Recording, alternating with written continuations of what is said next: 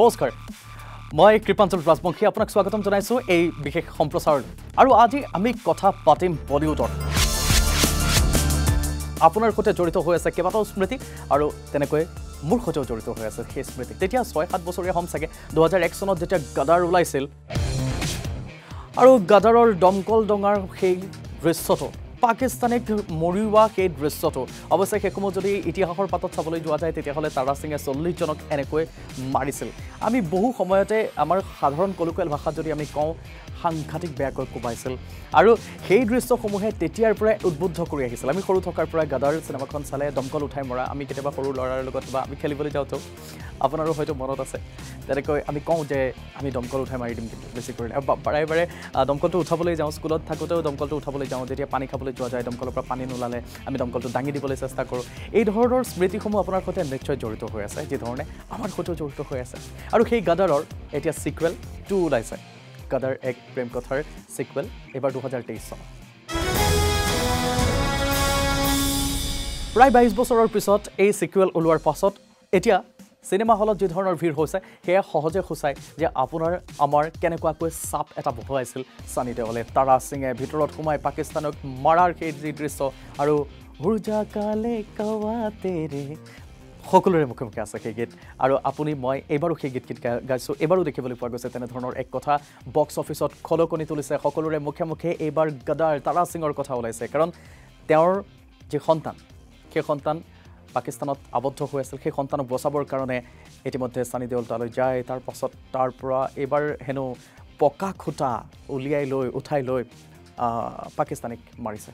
যিবোৰ দৃশ্য সঁচাকৈ আমোদজনক। আৰু ইণ্ডিয়া পাকিস্তানৰ এখন যিকোনো ধৰণৰ চিনেমাই হওক বা খেলেই হওক সকলোতে এক উৎকণ্ঠা যথেষ্ট বেছি থাকে। আৰু সেই উৎকণ্ঠাৰ অকণমানো ইয়াত হিন্দেৰি হোৱা নাই।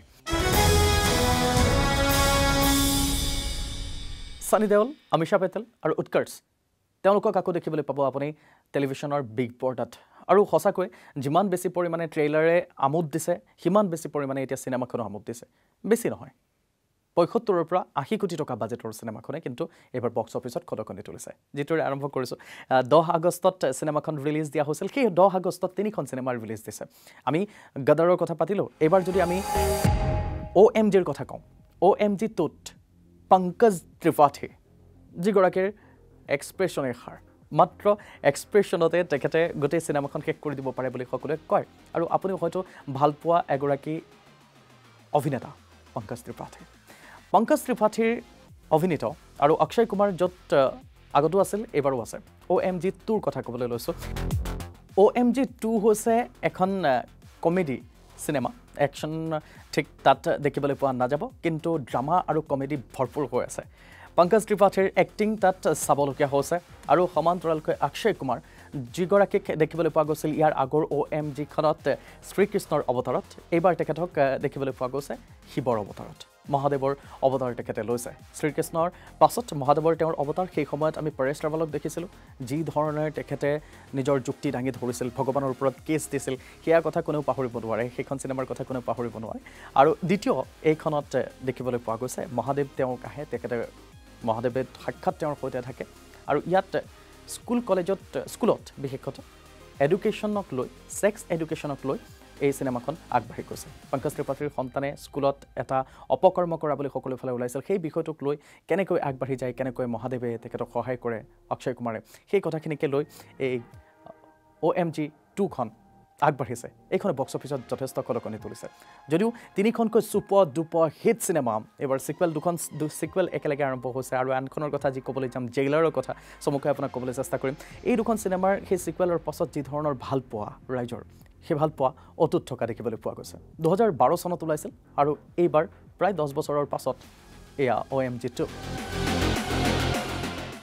আৰু এইবাৰ ছুপাৰষ্টাৰ ৰজনীকান্তৰ কথা যদি কওঁ তেতিয়াহ'লে হয়তো বহলাই ক'ব নালাগে। এশ ঊনসত্তৰখন চিনেমা এতিয়ালৈকে তেখেতে কৰিছে আৰু এইখন যিখনৰ কথা ক'বলৈ লৈছোঁ জেইলাৰ। এই জেইলাৰখন হৈছে তেখেতৰ এশ ঊনসত্তৰ সংখ্যক চিনেমা।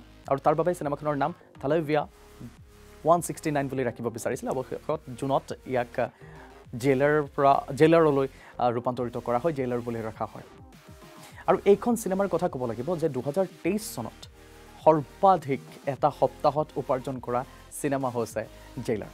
অৱশ্যে দুখৰ কথা এইখন চাবলৈ যদি যোৱা যায় মই যেতিয়া চাইছিলোঁ বুক বুক মাই শ্ব'ত যে এইখন চাবলৈ যাওঁ কালি উইকেণ্ড থকাৰ সময়ত কিন্তু দুখৰ কথা যে এইখন ইয়াত এতিয়ালৈকে অহা নাই গুৱাহাটীত অহা নাই কিন্তু দাক্ষিণাত্যত এইখনে খলকনি তোলাইছে। সকলোতে ইতিমধ্যে জেইলৰৰ টিকট নোপোৱা হৈছে। এটা সপ্তাহত সৰ্বাধিক আয় কৰিছে। দুশ বাইছৰ পৰা তিনিশ কোটি টকা উপাৰ্জন কৰিছে বিশ্বজুৰি এটা সপ্তাহত। আৰু ক'ব লাগিব যে একেটা দিনত তিনিখন চিনেমা দহ আগষ্টৰ তাৰিখে ৰিলিজ হৈছে যিকেইখন super duper hit cinema release হৈছে। আটাইকেইখনৰ বাবে দৰ্শকে ভিৰ কৰিছে। আটাইকেইখনে বাহ বাহ পাবলৈ সক্ষম হৈছে ক্ৰিটিক্সৰো বাহ বাহ পাবলৈ সক্ষম হৈছে। গতিকে আপুনি যদি এই তিনিখন চিনেমা এতিয়ালৈকে চোৱা নাই তেতিয়াহ'লে এবাৰ চাব পাৰে ভাল নিশ্চয় পাব। আৰু এনেধৰণৰ চিনেমাৰ আপডেটছ আপোনাক দি যাবলৈ চেষ্টা কৰিম। চিনেমা চাই আপোনাৰ কেনে অনুভৱ হৈছিল সেয়া আমাক জনাবলৈ একেবাৰে নাপাহৰিব। আপোনালোকৰ প্ৰতিক্ৰিয়াৰ বাবে অপেক্ষা কৰি ল'ম আৰু মুহূৰ্তত মই কৃপাঞ্জলি বিদায় লওঁ নমস্কাৰ।